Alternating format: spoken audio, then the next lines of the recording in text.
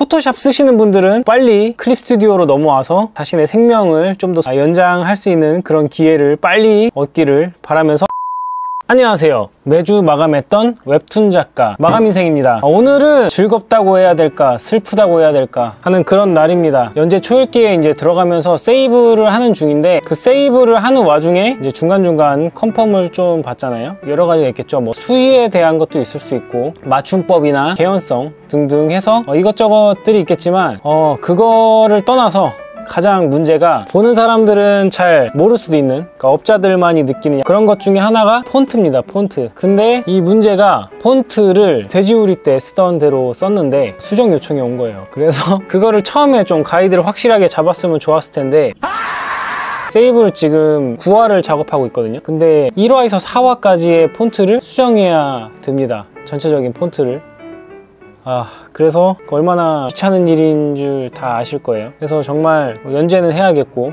아 몰라. 아 그냥 할래. 그냥 그냥 할게요. 이렇게 해서 시도 안 먹힐 테고. 그러니까 이제 연재해야 되잖아요. 차기작 연재를 해야 되니까 일단 시킨 대로는 하긴 할 건데 여튼 그런 굉장히 귀찮은 일이 생겼습니다. 처음에 딱 정해진 대로 가면 제일 좋은데 고쳐달라고 요청이 왔기 때문에 하라는 대로 하겠다 클립에 보면은 아주 좋은 기능이 있어요. 제가 예전에 이런 비슷한 일이 한번 있어가지고 전체적으로 폰트를 한번 갈아엎어야 될 일이 있었는데 이런 기능이 있구나 하면서 정말 놀랬던 적이 있었는데 그거를 오늘 여러분들에게 소개시켜 드리려고 합니다. 여러분들이 이 기능을 아시게 된다면 생명을 연장시킬 수가 있습니다. 정말이에요 이거는. 어, 여러분들의 시간을 아낄 수가 있고 가뜩이나 없는 시간에 간단한 클릭 몇 번으로 여러분의 삶의 질을 올릴 수 있는 그런 기능입니다. 그렇기 때문에 포토샵 쓰시는 분들은 빨리 클립 스튜디오로 넘어와서 자신의 생명을 좀 더 소중히 하고 아, 연장할 수 있는 그런 기회를 빨리 얻기를 바라면서 오늘 이 꿀팁에 대해서 설명드리겠습니다. 고쳐야 될 파일이 여러 개가 있겠지만 일단은 프롤로그만 샘플로 딱 한번 보여드릴게요. 이거를 잘 보시면은 굉장히 쉽습니다. 어, 여기서 저한테 온 오퍼는 일단 글씨 크기를 볼드로 바꿔달라. 이 요청이었거든요. 글씨가 이제 어, 모바일로 보다 보니까 글씨 폰트가 전체적으로 조금 작고 그거를 볼드로 바꿔달라. 원래라면은 모든 대사를 일일이 다 수정을 해야겠지만 지금 같은 경우에는 그 일단 전체적으로 폰트를 한번 싹 갈아서 요청대로 갈아엎은 다음에 말풍선 크기나 이런 거 조금 달라질 수 있으니까 그런 것들을 조금씩 손봐주는 쪽으로 하도록 하겠습니다. 클립 스튜디오를 딱 키신 다음에 어, 작업을 해야 될 페이지 관리 페이지를 불러옵니다. 이 관리 페이지가 제가 이제 작업한 이게 올라갈 때쯤이면 이미 공개가 됐을 거예요. 프롤로그 페이지예요. 여기에 들어가셔서 스토리를 딱 누르십니다. 그러면 야, 여러분들의 생명을 살려줄 기능이 있습니다. 스토리 에디터라는 기능입니다. 스토리 에디터를 누르시면 이 지금 페이지 화면에 있는 모든 대사들이 여기에 쫙 뜹니다. 보이시죠? 18페이지까지 있는 모든 대사들이 이렇게 뜹니다. 이거를 하나씩 다 바꿔줄 생각을 하면 진짜 눈물이 나죠? 하지만 저는 한 큐에 바꿀 생각입니다. 일단 이 안에서 글자를 수정하면은 말풍선 안에 있는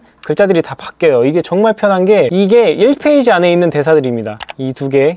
말풍선이 두 개란 얘기죠? 1페이지에 지금 두 개의 대사가 있죠? 으... 사고가 난 건가? 뭐지? 보시면 두 개의 말풍선이 있어요. 여기서 이제 대사를 바꾸시면은 이 안에 대사도 바로바로 바로 바꿀 수 있습니다. 그렇기 때문에 스토리 에디터를 쓰시면은 전체적인 대사의 흐름도 확인할 수 있고 여기서 간단히 수정도 가능하고 그 다음에 전체적인 폰트나 이런 것들을 수정할 수도 있습니다. 만약 그게 아니라면 일일이 다 클릭을 해서 볼드체로 바꿔야 된다? 그러면 일일이 bold를 눌러주는 수고를 해야겠죠. 하지만 제가 지금 알려드릴 방법은 이거보다 훨씬 쉽습니다. 일단 두 번째 파일 열어보면은 말풍선이 굉장히 많죠? 9가지인데 지금 bold가 안 돼 있어요. 컨트롤을 누르면은 한 개씩 이게 말풍선이 선택이 됩니다. 이 파란색으로 바뀌는 거 보이죠? 그러면 이 파란색 말풍선 안에 있는 그 대사가 선택이 됐다고 보시면 돼요. 이거를 어, 내, 내 입맛에 맞는 그 글씨체로 바꾸겠다. 그럴 때 어, 컨트롤로 하나씩 찍어주셔도 되고 아니면 시프트를 누른 상태에서 누르시면은 지금 볼드가 들어가 있지 않죠? 근데 여기서 볼드를 누른 다음에 어, 내가 하고 싶은 모든 폰트의 세팅을 여기다 맞춥니다. 아무런 변화가 없죠? 그래서 여기서 이 선택된 거에서 오른쪽을 누르신 다음에 Apply to Property to Text. 뭔 뜻인지 모르겠는데 어쨌든 여기 왼쪽에 있는 정보를 어, 여기다가 덮어 씌우겠다. 그렇게 하시면은 클릭을 해주시면 보이시죠 옆에 대사가 바뀌는 거 이렇게 말풍선에 좀 들어갈 수 있게 좀 커진 것들 이런 식으로 수정을 해주시면 됩니다. 제가 해야 될 거는 지금 거의 여기서 끝이기 때문에 이거를 다 일일이 하기보다는 대사를 클릭을 하신 다음에 Apply to Property to Text 이렇게 해주시면 뭔가 파란색 원이 돌고 있죠? 처리가 되고 있다는 겁니다. 18페이지까지 있는 이 대사들이 일괄 처리가 되면서 제가 원하는 볼드가 들어간 걸로 대사의 폰트가 마무리가 됩니다. 쉽죠? 마지막에 한번 해- 확인해 볼까요? 어, 어, 어. 어, 어, 어, 어, 어, 어. 대기, 대기, 대기. 어. 대사가 너무 많나? 어려운 작업이 아닌데 클립은 아주 안정적인 프로그램이에요 생각보다 아 지금 일을 열심히 하느라 이 컴퓨터가 정신 못 차리네 한번 열어서 볼까요? 다 바뀌었죠? 지금 볼드가 다 먹었습니다 어, bold가 다 먹었어요 제가 오늘 알려드린 이 기능은 전체적으로 폰트를 바꾸거나 좀비 말투 같은 경우에 컨트롤로 이렇게 하나씩 찍어서 좀비 말투로 한 번에 변형을 시킨다거나 이런 것들이 가능하고요. 좀만 응용을 하면은 정말 노가다 할 거를 이렇게 클릭 몇 번으로 바꿀 수가 있습니다. 이래서 클립 스튜디오를 쓰지 않을 이유가 없는 겁니다. 만화를 위해서 만들어진 프로그램이기 때문에 어, 이거를 정말 쓰는 사람들한테 의견을 받지 않고서 이런 이런 기능을 넣을 수가 있을까? 이런 생각이 드는 덕스러운 프로그램이라고 해야 될까요?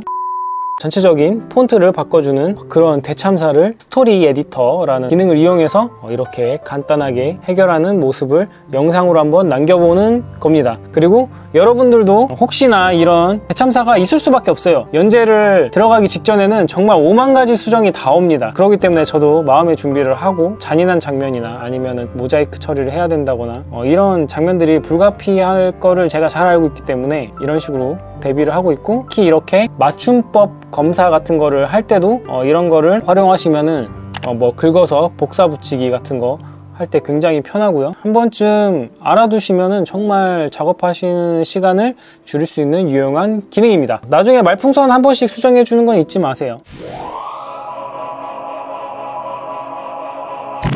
제가 할 얘기는 여기까지고요. 사실 이런 작품을 만드는 건 좋은데 이런 손댔던 파일을 다시 여는 거 굉장히 귀찮은 일인데 이렇게 한번 돌려서 제가 그냥 말풍선 크기 정도만 살짝 조정해서 어, 저장하면은 뚝딱 끝나는 그런 과정입니다. 여러분들도 알아두시면 너무 좋은 기능이라고 생각해서 제가 일부러 영상을 따로 만드는 거고요. 제 영상이 도움이 되셨다면 좋아요와 구독, 알람 설정까지 해주시고요. 아, 저는 지금 모든 준비가 거의 다 끝나가고 있습니다. 앞에 보냈던 원고에서 나오는 수정사항만 하면은 되기 때문에 계속 그냥 뚜벅뚜벅 세이브를 만드는 과정이고요. 주 1회 원고를 작업하는 그런 몸을 만들려고 노력 중입니다. K 좀비물, 사람의 조각 많이 기대해 주시고요. 어, 저는 마감하는 다음 주에 다시 돌아오도록 하겠습니다. 클립 스튜디오를 이용해서 마감하세요.